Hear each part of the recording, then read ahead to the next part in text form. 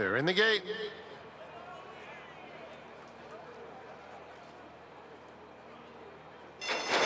And they're off in the FanDuel Breeders' Cup Mile presented by PDJF.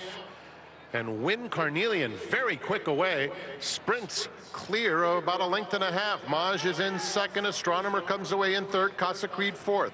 They are followed by Songline, who's four wide into the first turn. Shirl's Speight is down at the rail, inside Gina Romantica. Lucky Score is just behind that pair, De about a dozen lengths off the pace.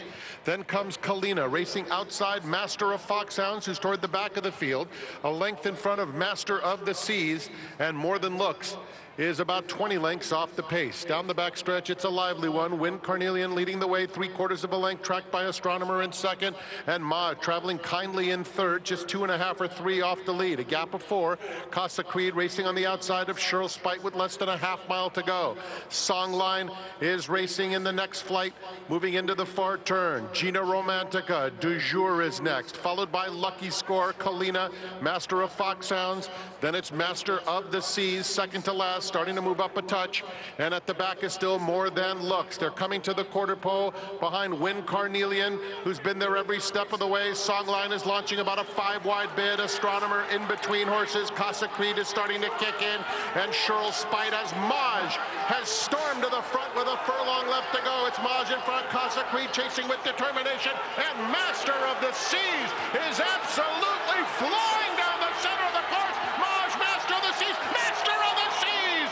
And Mawj in a dramatic photo finish in the FanDuel Breeders' Cup Mile presented by PDJF. This is the closest photo we have seen this weekend for the Breeders' Cup. Take a look one more time. Godolphin, their two runners on the line together. Mawj for Saeed bin Suroor, the filly along the inside, and a flying finish from, from Charlie Appleby's Master of the Seas, Rishi. Oh, this is so close. If Master of the Seas has got there, what a magnificent effort. Wow. I mean, that is so close. It looked like live the advantage was to the outside. This is the low-level look. Obviously, the camera is a little bit of an angle here. One more look. Shutter cam sometimes will help us sort out these photos as close as they are. I mean, they're in stride as well. Both jockeys pushing, both reaching on the line. I think we're going to have to wait for the placing judges on this one. I mean, what a great race from both. Contrasting